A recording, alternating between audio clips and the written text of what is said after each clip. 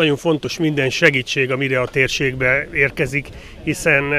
ez a haltelepítés felhívja arra a figyelmet, hogy egyébként is egy halban gazdag terület a Tiszató, de ez a haltelepítés is mutatja azt, hogy még több hal, még több horgászsákmány kerül ide, az vonza a turistákat, vonza a horgászokat, vonza azokat a családokat, akik ide akarnak jönni a Tiszató partjára, és én azt gondolom, hogy minden olyan segítség, ami ide jön ebbe a térségbe, azt meg kell köszönni, és minden olyan segítség, ami ide jön, az csak erősíti ennek a térségnek a turisztikai szerepét.